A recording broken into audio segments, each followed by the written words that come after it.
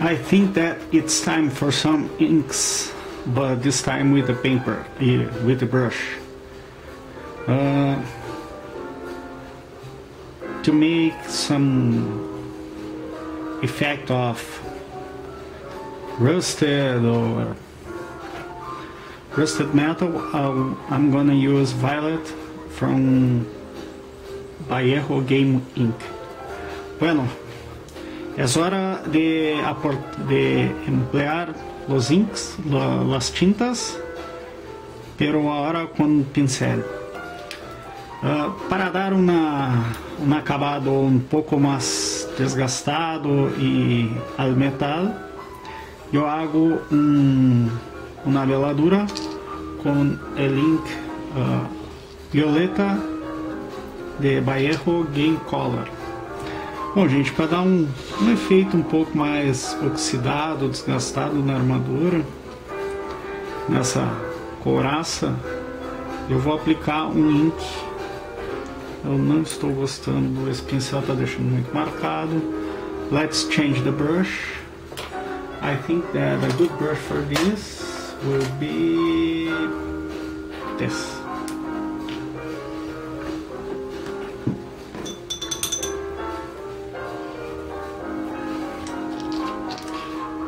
Rafael It's a great brush for for glazes. A little more water. Uh, los pinceles de Rafael son, son muy muy buenos para hacer veladuras. Son muy suaves y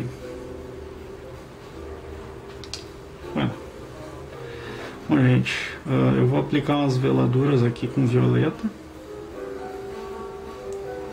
Como o pincel anterior estava marcando muito, deixando muito riscado, eu troquei para o Rafael. Ah, também é de Marta Kolinski, mas é um pincel que ele é muito bom para veladuras, porque ele é muito macio, muito suave e as cerdas deslizam muito bem sobre a superfície. Por que o violeta e não outras cores? Deixa eu pegar o outro pote de limpar pincel. Aqui atrás. One thing that I, that I made is this. Ah, you can't see this. This is only for metallic paints and this for non-metallic. Don't mix them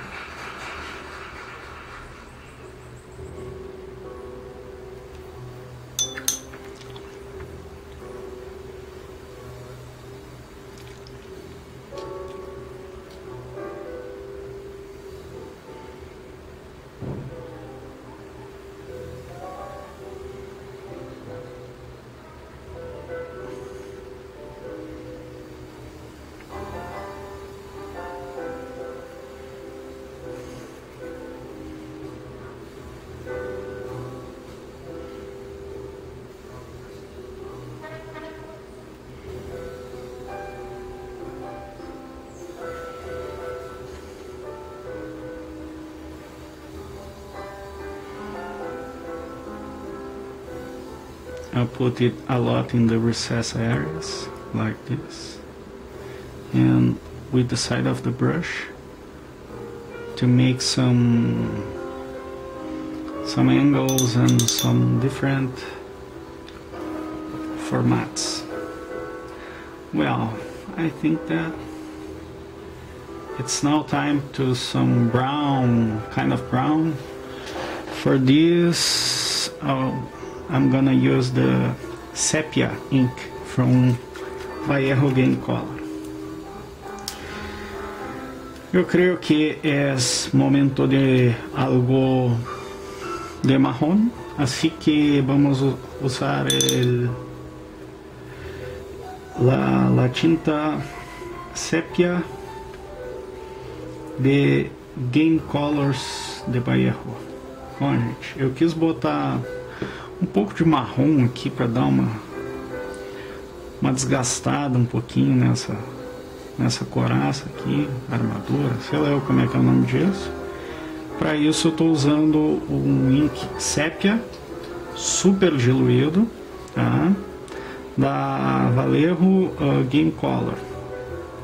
Os inks da Game Color uh, eu, eu gosto muito deles. Eles têm uma consistência muito legal. Eles são um pouco mais pesados, eles não correm, não fluem tanto quanto os da André. Mas as cores são muito bonitas, muito interessantes para diversos tipos de efeitos.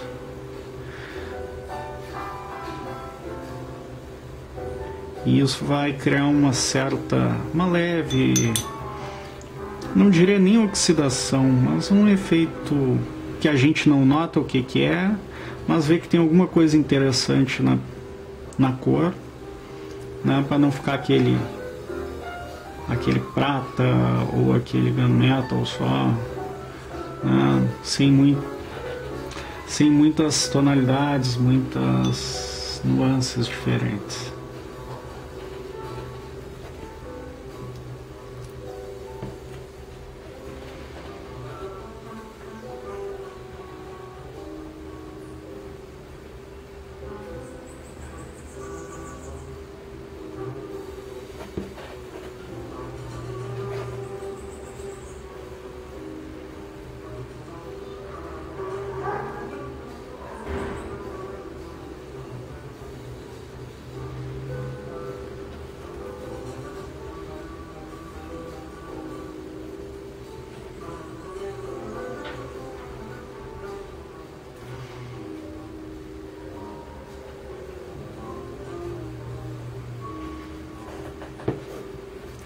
Bom, o que vocês vão notar é que